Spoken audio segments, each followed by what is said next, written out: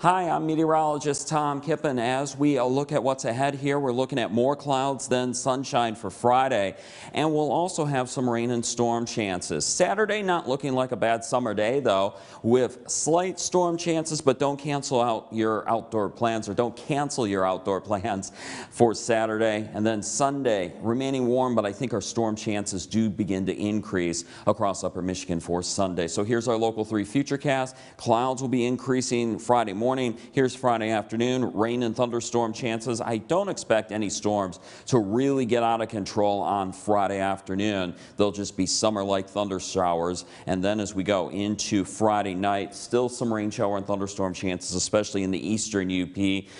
Central and west, we actually might sneak into some sunshine before sunset Friday evening. And then here's Saturday, warm summer days expected. I think most of us make it through Saturday dry, but we could have some rain showers and thunderstorms pop on up. And then as we go in the Saturday night, I think we're dry, but storm chances do show up for Sunday. Here's your extended forecast. First for Marquette, Marquette County, temperatures in the 70s for Friday, and then around 80 or into the 80s for Saturday and also Sunday. For the eastern UP, we're looking at temperatures on Friday for highs in the 70s, 70s to around 80 for Saturday and also Sunday. For the south central UP along Lake Michigan, including Manistique and Escanaba, we're looking for temperatures in the 70s for Friday, 70s to around 80 for Saturday and also Sunday. For the interior west, highs on Friday in the 70s, around 80 though for Saturday and also Sunday. And then for the Keweenaw Peninsula, we'll have highs in the 70s for Friday and then 70s near the lake on Saturday and Sunday, 80s as you begin to head inland.